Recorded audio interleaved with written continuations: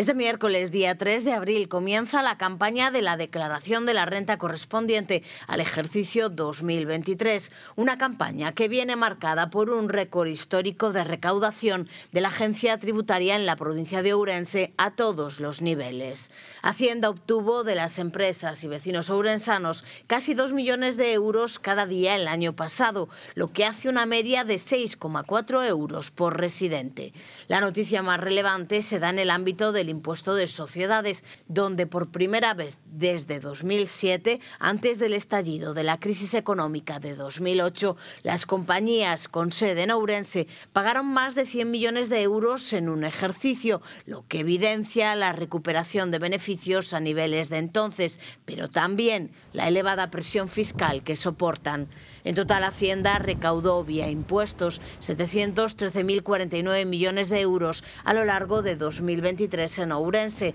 una cifra nunca antes vista y que supera con creces los casi 635 millones ingresados un año antes.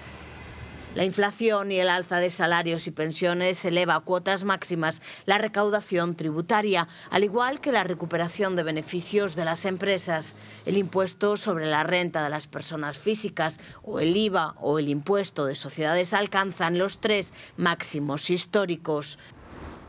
La explicación de este récord tributario en la provincia tiene varias vertientes, pero está especialmente impulsado por las empresas.